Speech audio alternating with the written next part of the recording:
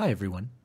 If you haven't heard already, MuseScore 4.1 has been released to the public with some excellent new features, bug fixes, and improvements, most of which the MuseScore team have covered in their introduction and tutorial videos. I'll leave a link to Bradley Kunda and Martin Keary's videos in the description. But we may still dive deeper into how we can make full use of some of those new features. For now, what I'm most excited about is the performance improvements of using Muse sounds, largely due to the separation of the reverb from every instance of Muse sounds, though I think there may have been other performance tweaks as well. This is huge for me as a teacher, because I can more confidently recommend my students to use MuseScore 4 on any computer they have at home, as well as having better performance on whatever computer the school can afford.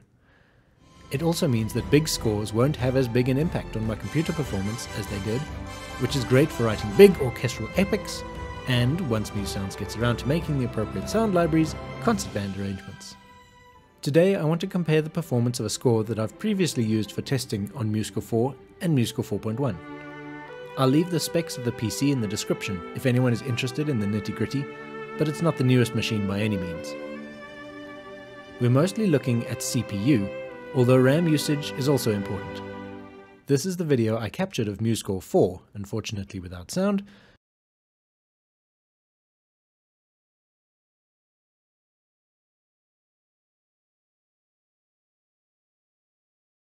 and you can see the big spike in CPU when I click on a note, and the playback engine quickly has to process that.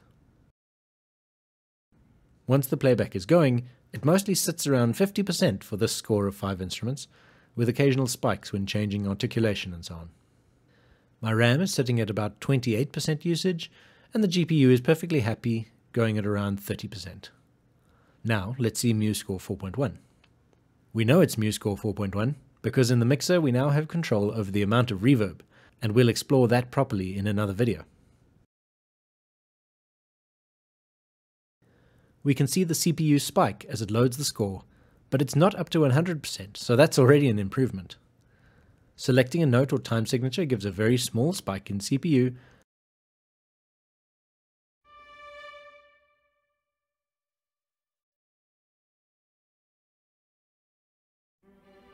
and then the playback seems to settle around 25 to 30%. RAM is similar at 25%. It's not a big enough change to say that they've improved that. It might have been something different on my system that day. The GPU has these interesting regular fluctuations between about 40% and 20%. I have no idea what that's about.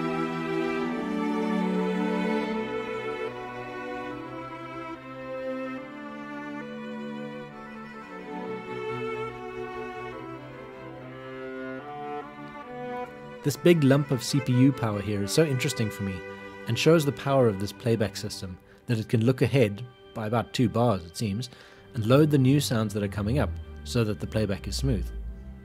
In this case, it's loading the harmonics and the double basses. VST can't do that as far as I know. I'm pretty sure VST just has all the sounds you may need permanently loaded up. So the biggest change was the CPU usage down from 50% to below 30%. That's a nice big change for such a small score. Let's try a large score. For this I'm using the Muse Orchestra demo that I've previously used to test the performance characteristics of MuseScore 4 and you can watch that collaboration with Mr. Long up at the top. It takes a bit longer to load the instruments, but that makes sense, and it uses more CPU to do it as well. CPU playback is only sitting at about 50% when not changing articulation and adding new instruments. And RAM is still only about 33%. That's pretty great.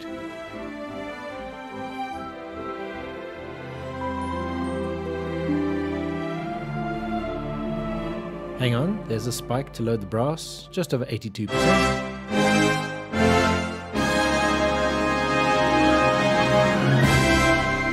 And then a decrease as instruments die away to the end of the piece. It seems like stopping playback in the middle gives the greatest CPU load. I wonder what that's from. Unfortunately, I don't have a comparison of this score on the same PC with MuseScore 4, but when I was testing it with Mr. Long on a newer computer, I was starting out at 90% CPU usage and quickly ramped up to 100%. But so is the difference in sound. For completeness in 4.1, I also tried inputting notes, and unfortunately that still results in large CPU spikes, which makes note input a bit slower. This is also the case with smaller scores, so hopefully that will get fixed in future updates. In conclusion, I'm very happy with the performance improvements, which should make things easier for everyone to run MuseScore 4. I'm not quite sure what the team meant by up to 60% improvement.